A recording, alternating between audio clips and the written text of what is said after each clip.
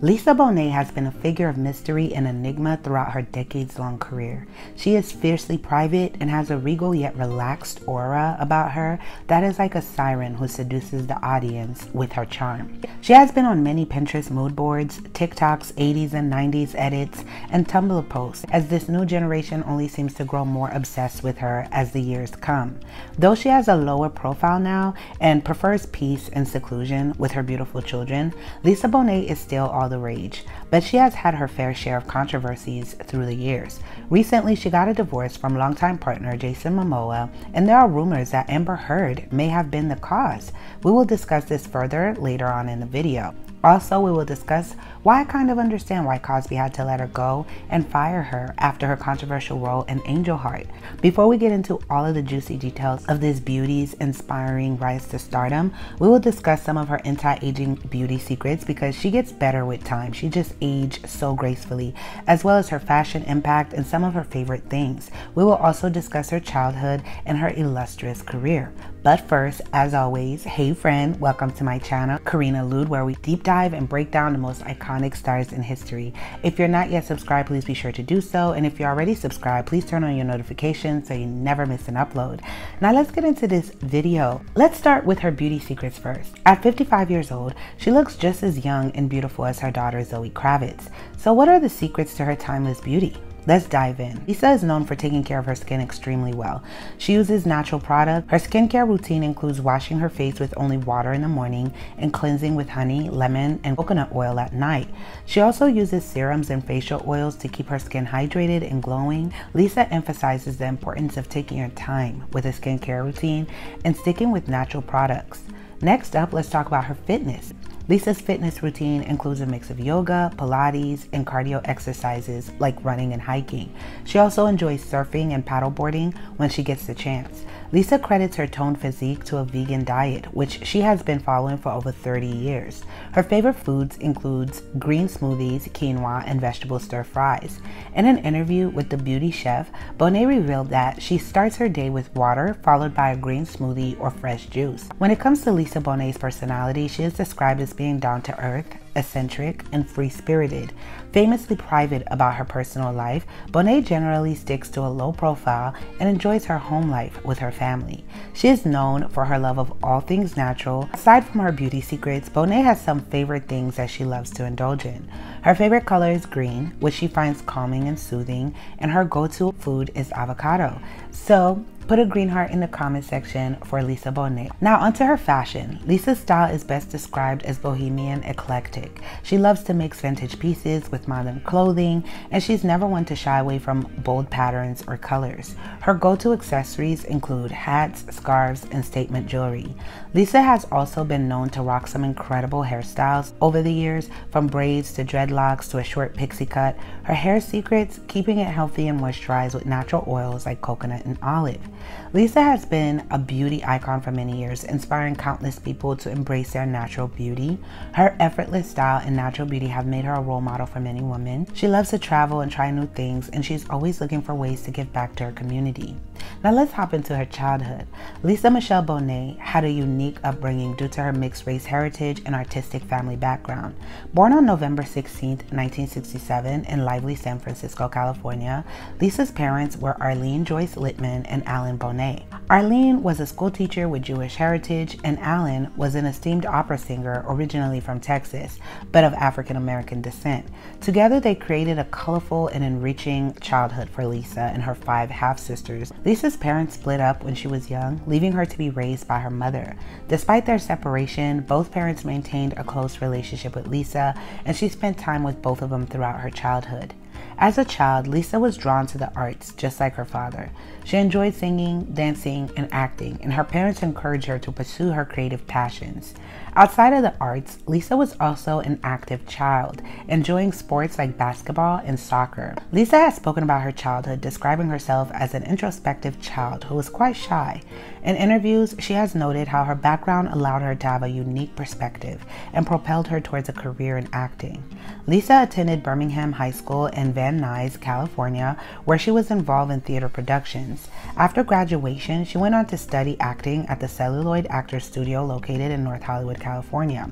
Lisa's family has always been supportive of her career choices. Her father once described her as a born actress, while her mother noted how Lisa was always able to connect with people on an emotional level. Now, as far as her career, Lisa Bonet is a renowned American actress who has built a remarkable career in the entertainment industry. She got her start as a child beauty pageant contestant and appeared in guest spots on various television series. However, her breakthrough role came in 1984 when she landed the part of Denise Huxtable on the iconic sitcom The Cosby Show. In this show, she played the second oldest child of the Huxtable family, portrayed by Bill Cosby and Phylicia Rashad. Bonet's performance on The Cosby Show earned her critical acclaim and instant recognition. In 1986, she received a Primetime Emmy Award nomination for Outstanding Supporting Actress in a Comedy Series. She starred in the 1987 thriller Angel Heart opposite Mickey Rourke. For her performance in Angel Heart, Bonet received a nomination for the Saturn Award for Best Supporting Actress. Despite her promising career, Bonet was not without controversy.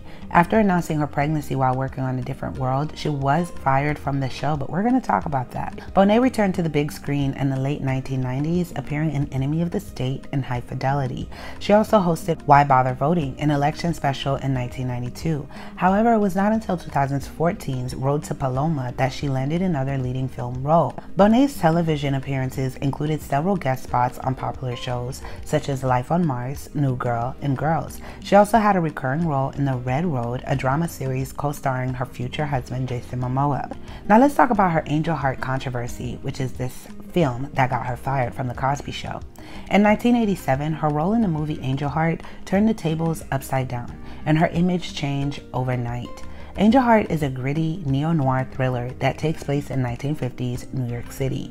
The film follows the story of private detective Harry Angel, who is hired by a mysterious client to investigate the whereabouts of a missing singer named Johnny Favorite. Lisa Bonet plays Epiphany Proudfoot, a young voodoo priestess who becomes a love interest to Harry Angel. Her character is sensual, seductive, and mysterious. She's also involved in several explicit, you know, scenes that have stirred up a lot of controversy at that time. The movie was rated R for its graphic scenes, and they even had to remove some scenes from it because it was too graphic. There was gore and there was violence. But what made it even more controversial was Lisa Bonet's involvement in these scenes. As a young actress who has just come out of a wholesome family sitcom, her role in Angel Heart was a massive departure from her previous work. Many fans were shocked and some were even outraged. The media went wild with the news, reporting that she had stripped down to nothing and had intimacy with Mickey Rourke on screen. Lisa Bonet plays Epiphany Proudfoot, a young voodoo priestess who becomes a love interest to Harry Angel, of private investigator Harold Angel, played by Mickey Rourke, who is hired by a mysterious man called Louis Cyphre, played by Robert De Niro, to investigate the whereabouts of a popular singer, Johnny Favorite. He also explains that Favorite was actually a powerful occultist who sold his soul to Satan in exchange for stardom. He got his stardom, but then sought to renege on the bargain. To do so, Favorite kidnapped a young soldier from Times Square and performed a satanic ritual on the boy, taking his life and eating his steel beating heart in order to steal his soul. This was all in a movie, okay? Favorite planned to assume the identity of the murdered soldier, but was drafted and then injured overseas, suffering severe facial trauma and amnesia. Bonet's character plays the daughter of one of the potential suspects. In one scene, she was bare having aggressive intimacy with Mickey, and blood was falling and splashing everywhere from the ceilings. It was so graphic, gory, and dark. In the end of the movie, Lisa Bonet ended up getting pregnant by the devil and gave birth to a demon baby, and the protagonist ended up having his soul snatched by the devil, and an elevator opens up to bring him down to hell. So, yeah, it was a pretty extreme movie. They also criticized her for not being a good role model for young girls and tarnishing her wholesome image.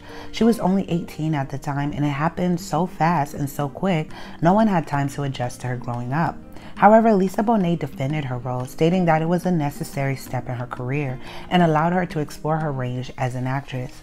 She believed that her character was necessary to the story, and the intimate scenes had artistic value. Many critics accuse the filmmakers of exploiting the actress for the sake of titillation because many creepy men were waiting and thirsting for Lisa to come of age to see her bareness, and the director may have played on that just like they did with Brooke Shields, you know?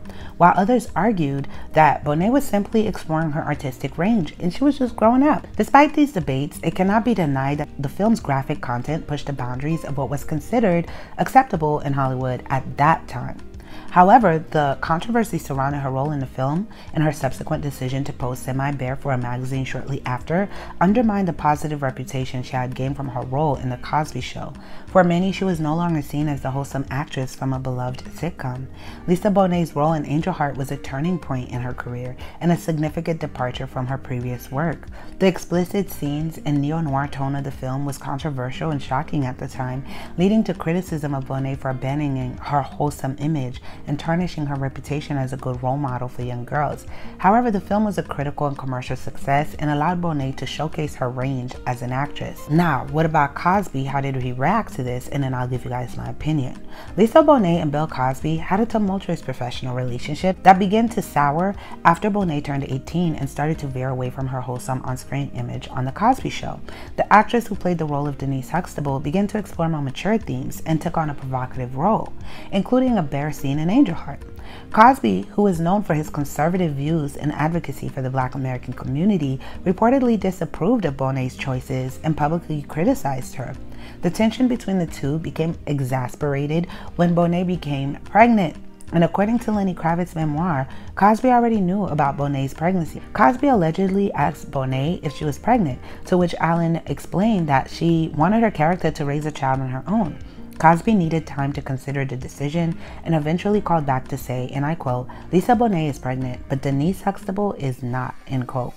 Following this exchange, Bonet was let go from the show. The actress later spoke out about her former co star's multiple allegations, indicating that she had always sensed a sinister, shadowy energy around him. Overall, it seems that Bonet and Cosby had fundamentally different visions for Bonet's career and image. While Cosby wanted her to remain wholesome and family friendly, Bonet wanted to explore more mature themes and push her boundaries as an actress. She stated to Rolling Stone that she always felt like she was on trial with Cosby. Cosby had an image he wanted to uphold with the cast of the show, and he had a lot of pride in portraying a wholesome image of a black functional family, even off the screen.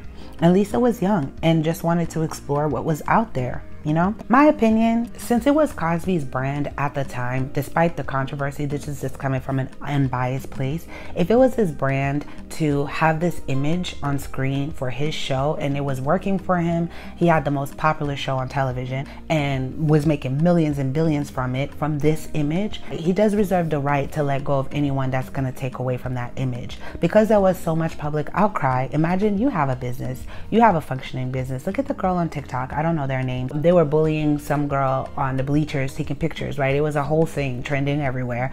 And they went to, to shut down that whole company that she was just an employee at, not caring about other employers that work there, the owner or anything like that. They just shut everything down, right? When you're famous, Decisions you make on your personal life, things you say, movie roles that you take can really take a lot of opportunities from you. I'm sure Lisa knew that if she went and did a film like that, especially something so controversial when Cosby was portraying like this wholesome Christian image to society, and then she goes and do like a movie with, you know, a cult, she's a whole voodoo priestess in it and all of that then you guys can kind of see how that would take away from the show. And then you become pregnant. Denise Huxtable, the character, is so different from Lisa Bonet the person, right? They're not the same people at all. It's two different people. Lisa wanted to live a whole different life.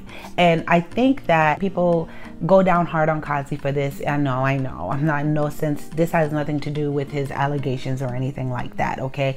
You can disagree with the person, but still understand their business decision at the time. I definitely would have made the same decision if I was Cosby, if it went so far from my brand you know, when you're in a business. And once you have a brand, you don't have to be famous for that. You could be anybody. Like I said, the girl with TikTok, her family, that's their brand. The company that they had, I, I believe, owned the company. And then TikTok banded together and got that company permanently shut down when her parents had nothing to do with it, right? Her parents had absolutely nothing to do with it. It's like here on YouTube. If YouTube give me some guidelines, you guys see, I avoid cursing on YouTube. You guys see, I filter my words, I avoid putting certain clips up and stuff because I know the guidelines and I know that YouTube at any minute feels like something's inappropriate, especially because you're when you're a black creator, it's even worse. If they feel like it's inappropriate, they strike down on you even harder. So in a sense, if I do want to keep my platform, if I want to continue doing content for you guys, I have to abide by the rules. I can't just decide to go out of the rules and be so off brand from YouTube, even if it's not fair because other people can go off brand, do a lot of stuff and you've seen those same people be re- rewarded because of privilege, I still know that I don't have that that type of privilege. You know what I mean? And Cosby understood also that there's a certain privilege that African Americans and black people in general, it doesn't matter what your cultural background was in Hollywood did not have the privilege of being so controversial during those days because they always came down on you harder for the controversies and he would have to take the flack for it and people would probably call for his head. And Lisa Bonet has um, played in some controversial films and you know that's her whole aesthetic. She has that dark aesthetic, you know, that witchy bohemian aesthetic and the symbolic tattoos and stuff like that. She already has that aesthetic and when she made Angel Heart, she was leaning more towards it. Comment below your thoughts and don't come for me. Everybody can have their own opinions. Respectfully explain your opinion. Do you agree? Do you disagree? If you were Cosby, would you still have Lisa on your show? Be honest, guys. Be honest. If you knew it was going to take millions out of your pocket and you would lose millions of supporters from your business, would you still do it? Okay, now let's talk about her and Lenny Kravitz. Lisa Bonet's relationship with Lenny Kravitz was one of the most high profile romances of the 80s and early 90s. They met backstage at a New Edition concert and were immediately drawn to each other, with Kravitz admitting that he was mesmerized by her. They eventually tied the knot in 1987 and welcomed their daughter Zoe Kravitz a year later, and the couple eventually separated in 1991. Kravitz has spoken about how painful the split was, revealing that he only slept for two hours a day for six months following their breakup. He has also admitted that he wasn't ready for the commitment of marriage and that he had to take a break to deal with some personal issues. Despite this, Bonet and Kravitz were able to put their differences aside for the sake of their daughter. Kravitz has praised Bonet for being an incredible mother to Zoe and has spoken about how much he values their co parenting relationship. Bonet has also spoken positively about Kravitz, calling him her best friend and praising him as a father. So, why did they split up? The exact reasons are unclear, but both Bonet and Kravitz have spoken about their relationship being difficult. Kravitz has described them as mirror images of each other, but also admitted that this made things complicated. In an interview with Rolling Stone, he talked about how they went through a difficult time during their breakup and how his song, It Ain't Over Till It's Over, was written about Bonet. And despite the ups and downs of their relationship, Bonet and Kravitz have managed to maintain a loving relationship as co parents. They continue to support each other in their respective careers and remain close friends. Now, let's talk about her and Jason Momoa.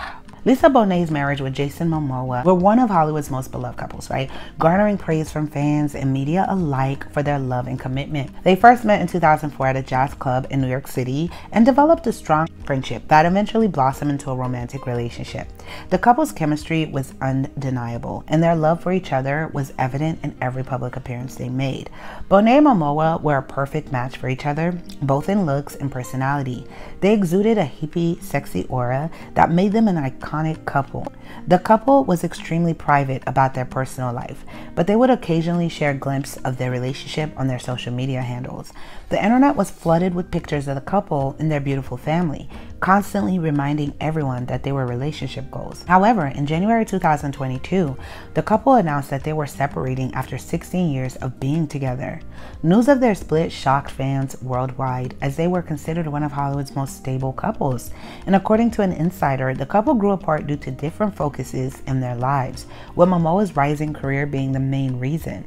While Jason wanted to travel and adventure more, Lisa would rather read, write poetry, and cook at home. The news of their split led to many rumors speculating the reason behind it. One rumor that caught everyone's attention was the alleged involvement of Amber Heard in the split.